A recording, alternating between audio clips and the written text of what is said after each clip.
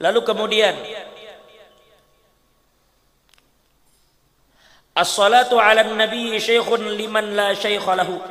Salawat kepada Nabi itu akan menempati posisi guru bagi orang yang tidak memiliki guru. Dia akan bimbing hidup pian salawat itu. Fala tahtaju ila syaikhin wala ila hudur. Salawat kepada Nabi itu kada perlu guru. Oh yuk, baca aja salawat ranai. Siapa yang mengijazahkan? Allah mengijazahkan. Di mana Allah katakan ya ayyuhalladzina amanu sallu alaihi wasallimu taslima. Udah baca salawat. Di mana ijazahnya? Allah mengijazahkan. Wala tahtaju ilal hudur dan juga salawat kada perlu hati khusyuk. Sambil mayun anak, sambil menyanga tempe, sambil menyiangi iwak, sambil menunggui jualan di pasar, sambil mengguringakan anak, sambil batapasan. Apa aja?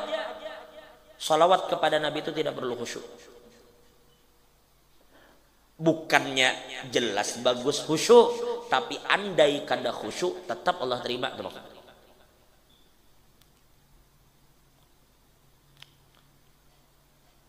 wabil huduri akmal. Tentunya bilanya kita khusyuk lebih sempurna.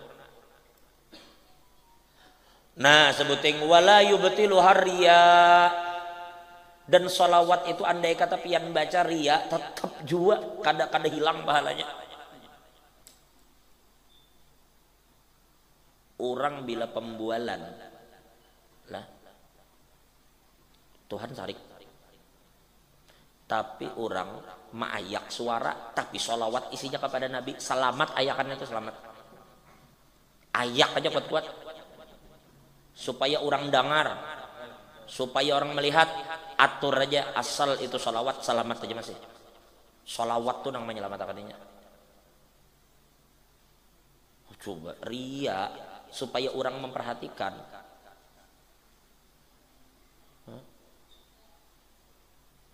Tetap Allah terima. Orang lain ada harapan. Sembahyang biar nyata-nyata sembahyang itu wajib. Ria hancur sembahyang tadi tapi sholawat kepada Nabi subhanallah. Jadi acil-acil ibu-ibu. Sudah gini amun mun sudah kayak ini jelas. Sebenarnya sholawat kepada Nabi ini termasuk amalan yang paling afdal tuh. Kada usah nang kebanyakan bercari macam-macam. Akhirnya pian kada kebanyakan tergawi juga. Karena bertemu guru anu guru amalan apa nang ulun gawi. Bertemu pulang habi anu bib amalan apa? Beratus catatan di buku nang mana pian gawi?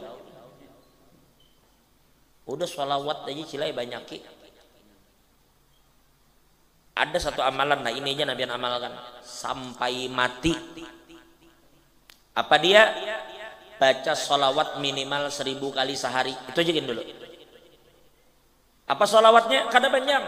Sallallahu ala Muhammad wa alihi wasallam. Atau sallallahu ala sayyidina Muhammad wasallam sallallahu ala Muhammad wasallam. Sallallahu ala Muhammad wasallam. Sallallahu ala Muhammad wasallam.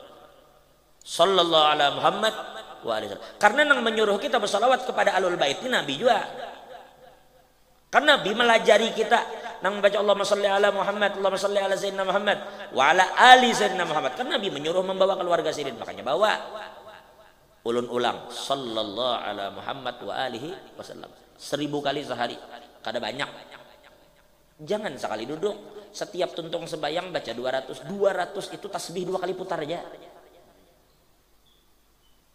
Dua kali putar aja sallallahu alaihi wasallam sallallahu alaihi wasallam sallallahu alaihi wasallam sallallahu alaihi wasallam kada terasa 200 kali putar nang subhanallah sampai alhamdulillah Allah akbar itu kan itu 100 kali kalau 99 lawan nang menggenapi 100 kalau kan sekali putar sekali lagi putar sallallahu alaihi Muhammad wasallam sallallahu alaihi Muhammad wasallam sallallahu alaihi Muhammad wasallam sallallahu alaihi Muhammad wasallam 200 kali tiap sembahyang gawi biar hendak nyaman itu cilai pakai nang ketekan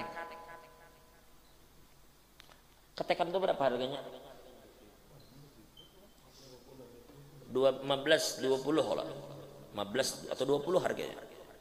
Itu kan ini jadi cincin kalau nang dijadi orang cincin. Nah, itu itu diisi nukar cilai nukar. Berapa sih harganya?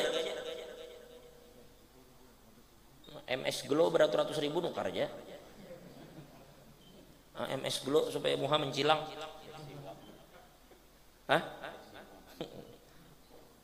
MS Glow segala lakian menukar macam-macam menukar paket internet. Nih harganya 20 ribu 15 ribu. Nah jadi andak di tangan betarget sehari itu.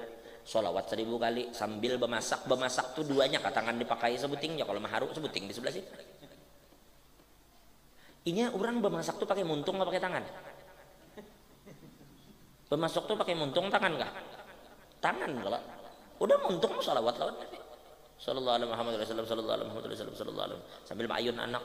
Sallallahu alaihi Muhammad Rasulullah Sallallahu alaihi Muhammad Rasulullah Sallallahu alaihi Rasulullah Kada terasa lihat oh sudah 380 karena ini bila dilepasnya kada hilang tuh. tetap angkanya kalau tasbih kan diandak bisa diingat tapi kalau tasbih ketek tuh oh sudah 413 karena bila ada luang baca ulang targetkan seribu sehari.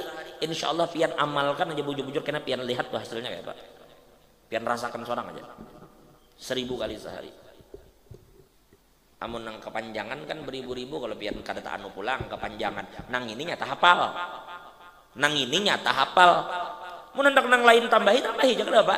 Cuma nang ini dulu minimal jangan kada digawi. Jadi ingat sekali lagi pian kalau kada bertekad menggawi kada kawat gawi